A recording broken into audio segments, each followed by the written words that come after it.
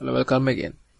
This is our first course on, uh, this is our first uh, video on, uh, on how to code with the CodeIgniter and we are starting from the controller. Okay. Okay, I'll remind you how the directory structure will be like. This is your www folder. Within that we have CI. We have created a CI folder called CI. Uh, within that folder we have put some files related to the CodeIgniter. And this is the folder we are now worrying about, application folder for this uh, actually we are not going to worry about. Okay let's see. So start writing. So within this so this is my editor called sublime text 2 and you can use it uh, if you want and you can use your own.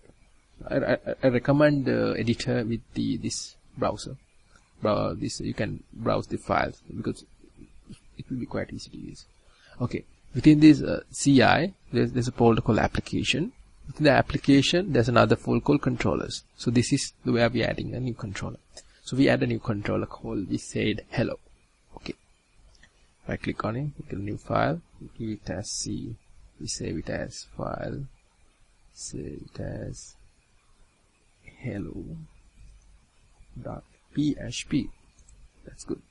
And we start the php file. And then and we start. Now we're creating a class for this uh, hello controller. So this class. Hello. You man you you have created the file name called simple hello.php everything is simple but if you are going to create the class the first letter of this class name uh, should be capitalized. That's it. We are extending extends from ci controller. Okay? This is the class this is the base class for the controller. You are extending from ci underscore controller. And this is your controller class. Pretty straightforward. And now we need to create a method. We create a method called public function.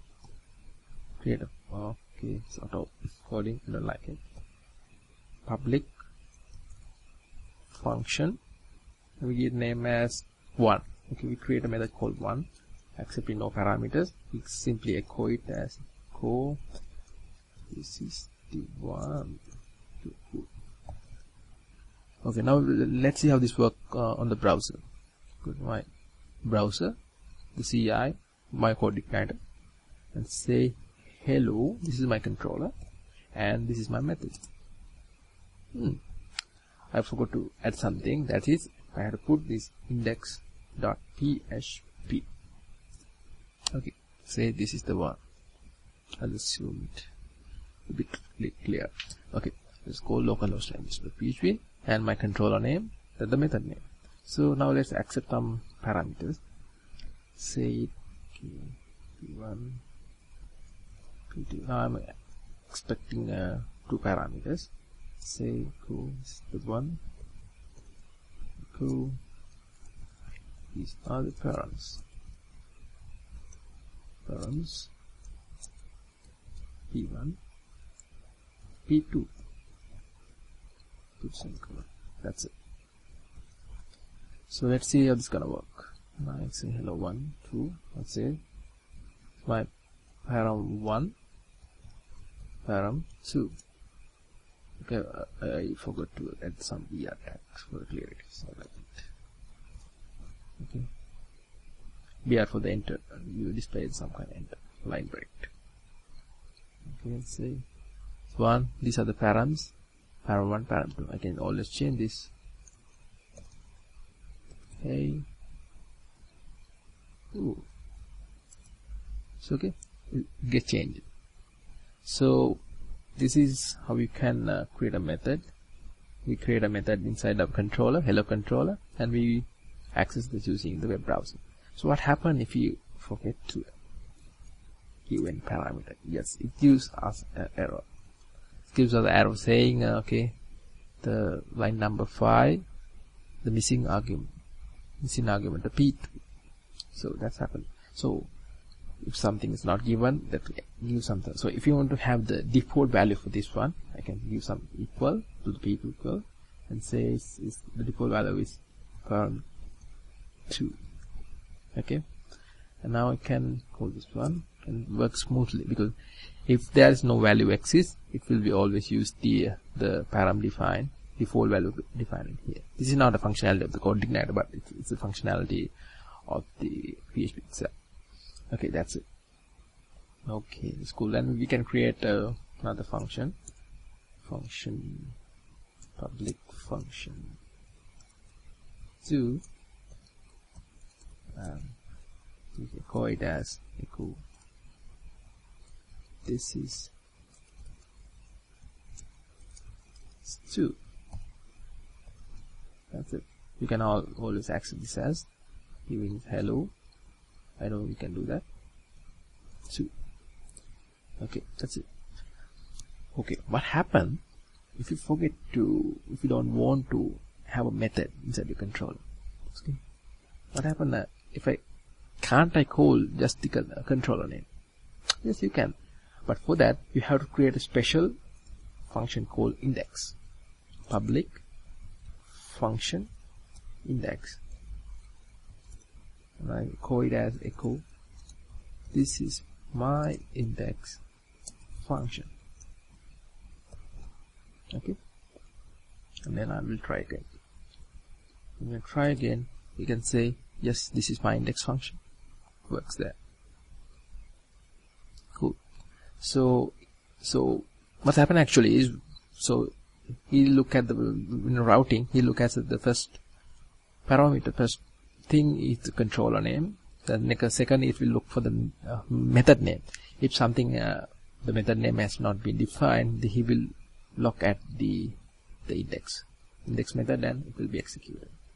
That's it okay. Now um, I'm saying something uh, something very important. So it says we have some kind of initialization code COSEC. It's it's all for uh, you need to apply it for the each and every method here. So we have initialization method initialization code something. Like we say we need to connect something to the database when the whatever the method we are creating. So the normal thing is you can uh, code thing everything here. Here code here. Here code. You can code here. You can code here. Yes. You can do that but uh, but that's that's the easy way to do that. So what you can do is you can create a construct and put your the the separated code behind that. I'll show you that. Public function. With the underscore two underscores construct. And call as parent. Now we are asking the parent to add some uh, all the things defined in the parent class. Construct. Okay that's it. Create construct and so we do the initialization. Here so it uh, type echo. This is the Now my grammar is bad, spelling is that's fine and create this is the initialization. Cool. So now whatever the method, so uh, br 2. So whatever the method you are calling here, it will be get call. Hello. If you create the hello index method, it's called. You call 2, it's there. So this for this one, using this one, you can do like as I said earlier, you can initialize a DB connection, do whatever the things are related to your application. So this is the the controller. We have created a simple controller. So that's it. We have created another one. One thing to have. So the CodeIgniter database, you cannot directly access this file. This uh, uh, hello.php file. Then you, so you can add some few uh, restriction uh, saying the people who are trying to access this one, we say hackers, so please don't access this so for that one you can play there's always the created uh, file called uh, welcome.php controller within your controllers folder. This is uh, shipped with the CodeIgniter and in the in the top of the file you can see this line. If so you can paste this into your same thing. So the outside uh, users cannot access this this PHP file directly and it, it doesn't affect anything to the, your normal behavior. Okay. That is for the today. We learn about. So we look at the views. Okay, thank you very much